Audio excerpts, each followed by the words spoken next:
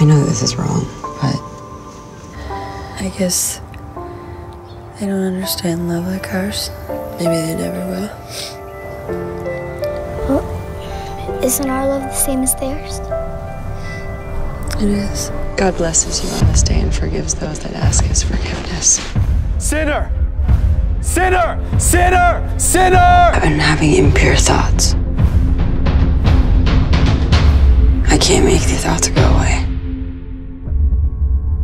I don't know if I want to. We are living in a very rapidly changing time, a time that promotes things like equality.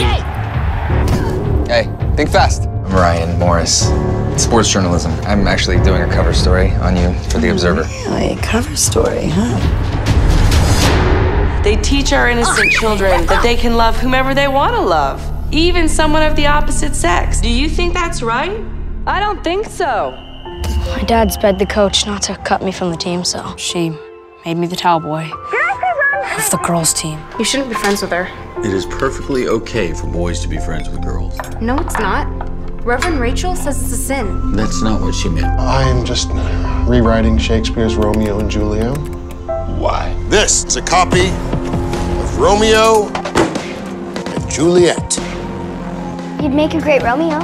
You think so? Yeah, and maybe if I got Juliet, we could practice our lines together. Ew. Romeo and Juliet?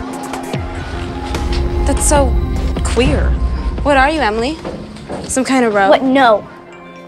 What's a row? Heterosexual.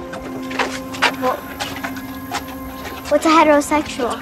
Something you're too young to know about. Row, row, row, row, row, row.